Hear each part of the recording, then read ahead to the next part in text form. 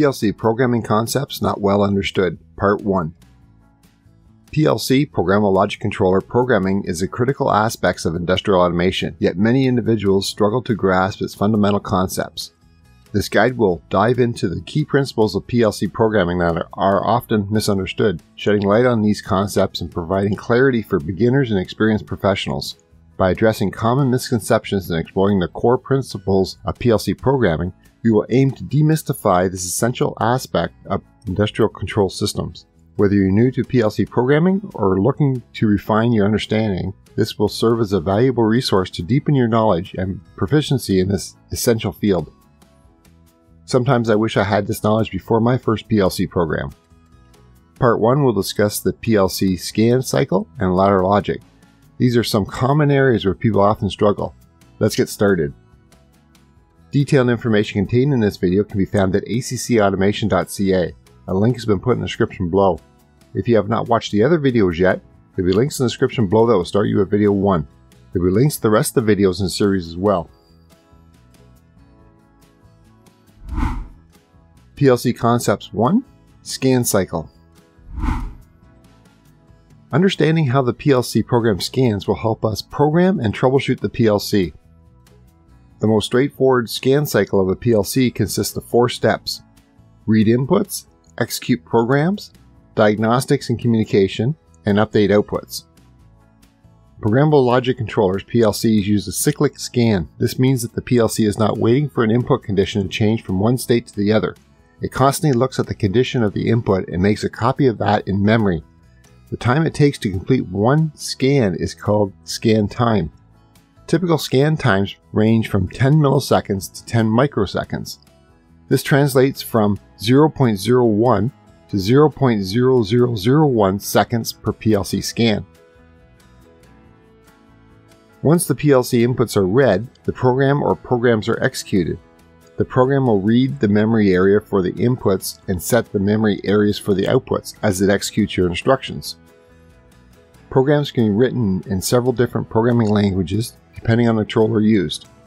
Standardization such as IEC has set five official PLC languages for programming.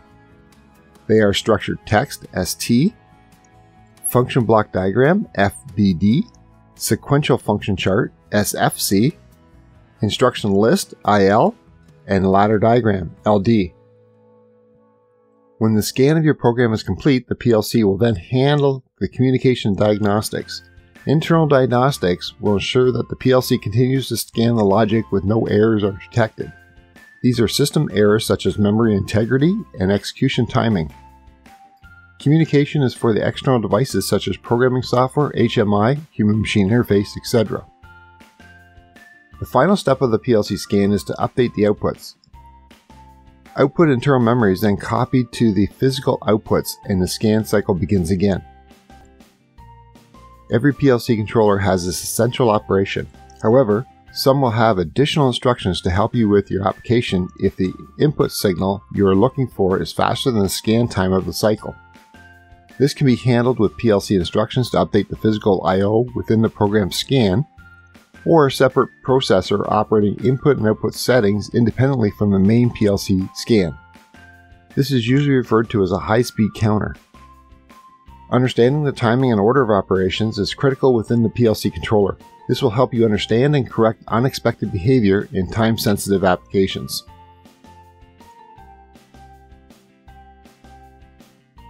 If you enjoyed this video, please hit the like button below.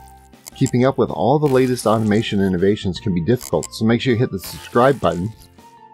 Remember to hit the bell beside your subscription to actually receive those notifications. PLC Concepts 2 Ladder Logic. Ladder Logic LD is the most popular programming language for PLCs. It was written to mimic the mechanical relays in a panel that the programmable controller replaced. It has two vertical rails and a series of horizontal rungs between them. This looks like flowchart or ladder. Contacts or inputs are on the left side of the rung.